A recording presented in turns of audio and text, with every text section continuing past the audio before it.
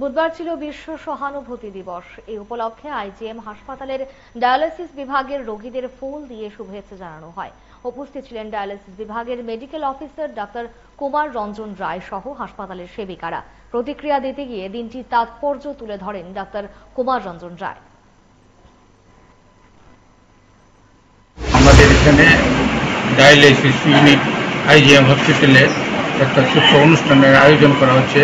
আর world kindness day সম্বন্ধে আমি just বলব যে যেহেতু আমি একজন ডক্টর ডাক্তার পেশেন্ট রিলেশনশিপের উপরে আমি কাইন্ডনেসটা কীভাবে হওয়া উচিত, ওইটাই আমি বলব। আমি বলছি যে অ্যাকচুয়ালি পেশেন্টে আমরা যারা পেশেন্ট চিকিৎসা করি, আমাদের ম্যানেজমেন্টটা অ্যাকচুয়ালি শুধু মেডিসিনের উপর ডিপেন্ড করে না রিলেশনটার উপরে সবচেয়ে বেশি ডিপেন্ড করে।